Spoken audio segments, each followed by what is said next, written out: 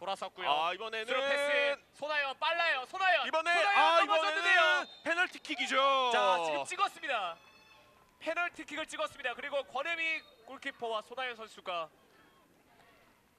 두 선수 모두 너무나 크게 고통을 호소하고 있습니다. 이번에는 일단은 손아연 선수의 스피드가 빛을 한번 발휘했던 상황인데 네, 자 지금 김현주 선수의 발에 또 먼저 걸렸고요. 그렇죠. 오, 네. 어, 이번에는 또 권혜미 선수가 어, 쪽에 또 통증이 있을 것 같은데 자 오늘 경기 너무나 위험한 장면들이 많이 나오고 있는데 자 이미영 감독이 너무나 아쉬움을 크게 표하고 있습니다. 네. 네 주심에게 또 강하, 강하게 항의를 하고 있는데요. 자 신상우 감독은 우선 상황을 앉아서 지켜보고 있습니다. 일단은 어, 조금은 무리한 스루패스가 아니었나 싶었는데 손아연 선수가 어, 권혜미 골키퍼와 김현주 선수 사이로 굉장히 빠르게 침투를 하면서 어, 발에 걸려 넘어지는 장면이 분명히 있었거든요. 네. 그렇기 때문에 일단은 페널티킥이 선언이 됐습니다. 자 그리고 주심은 이제 대기심과 그리고 부심 이야기를 좀 나누고 있는 모습도 보이고 자 우선 창녕 손아연 선수는 괜찮다는 제스처가 나왔습니다. 네.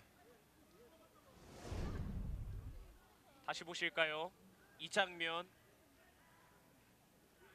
그렇죠. 이 상황에서는 사실은 또 손아연 선수의 볼 소유권을 인정을 해주는 게 맞지 않나 하는 생각이 분명히 들거든요. 네. 자 이미 이 그리고 지도자 모든 팀 어느 부분에서 이제 아쉬움은 나올 수 있습니다만 역시나 중요한 것은 두 선수 모두 부상이 아니라는 것에 조금 그렇죠. 초점을 둬야 될 것 같습니다. 네, 일단 아직까지 손아연 선수는 통증이 약간은 있는 것 같은데 네. 그래도 아직 경기를 소화하는 데는 문제가 없다라는 신호가 들어갔거든요. 네. 어, 그런 부분들로 봤을 때 일단 두 선수 모두 큰 부상은 아닌 것으로 보입니다. 그렇습니다. 자 부심과 이야기를 다시 한번 나눴고요. 자 주심이 뭔가 휘스를 불고 이야기를 나누고 있는데 상황을 조금 정리하는 듯합니다. 이번에는 아 지금은 실수를 했다고 말을 하는 것 같은데요. 판정이 번복이 되나요?